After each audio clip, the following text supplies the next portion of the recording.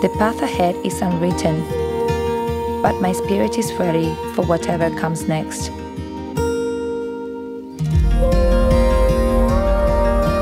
The journey that began with unraveling led me to a place of possibility.